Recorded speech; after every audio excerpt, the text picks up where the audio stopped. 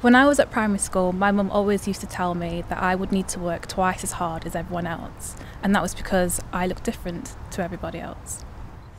Oh, that's a nice picture. How old were you? From a young girl, Laisha Johnson knew she wanted to be a lawyer. Growing up in Arnold in Nottinghamshire, her friends and family were right behind her. Others were less encouraging. I've had quite a few people tell me, you know, um, you know, what, why don't you try something else? Try performing arts, try, you know, going into acting or something like that. Law is obviously quite competitive and, it, you know, it takes the strongest and, you know, the smartest, but um, that didn't stop me. And it didn't stop her. In 2018, she graduated with a 2 1 degree in law at Nottingham Trent University. Laisha got the rewards her hard work deserved. Many black, Asian, and ethnic minority students, though, don't. Because of what's said to be an inbuilt bias in our higher education system.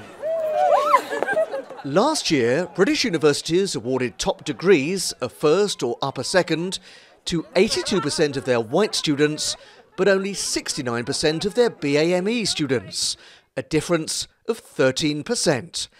This disparity between ethnic backgrounds has been going on for years and is known as the attainment gap.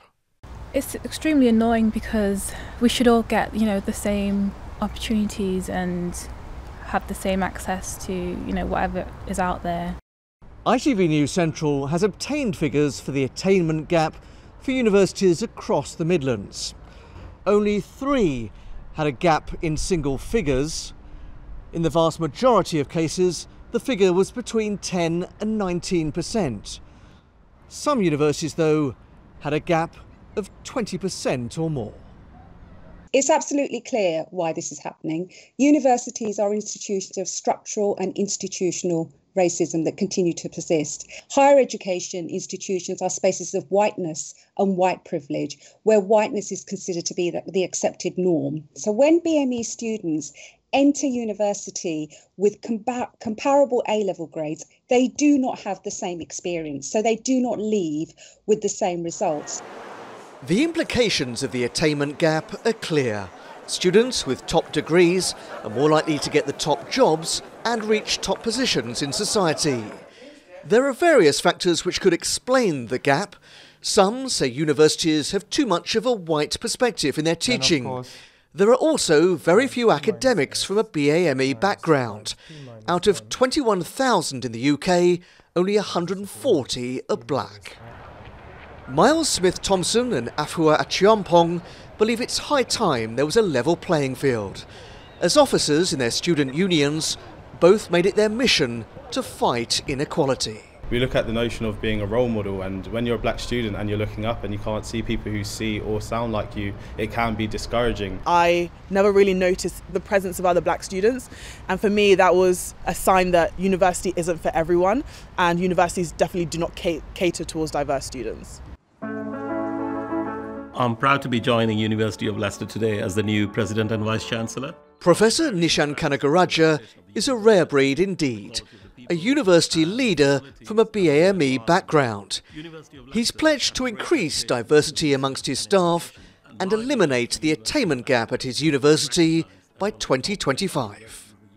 The reason I'm so committed to it is that if this was the case with male and female students, if you imagine 20 female students got 22% less than the male counterparts, it simply would not be acceptable. Universities UK told us it's clear that there is much more to be done to address racial inequality within education, with continued disparities between graduate outcomes across different groups, which will require an unequivocal commitment to change. Many universities have made a considerable effort to address this inequality, but there is still a long way to go. So, what of the Black Lives Matter movement? Could this be the catalyst to make our universities more inclusive? That's a really interesting question. So, the optimist in me likes to think, yes, we will change and hopefully things will be different for our children. But the pessimist in me thinks, well, we've been here before. Come back and ask me in five years' time, and then we can answer that question. University remains at the very pinnacle of our education system. Your chances of excelling, it seems, though, are still linked to the colour of your skin. Peter Bearne, ITV News.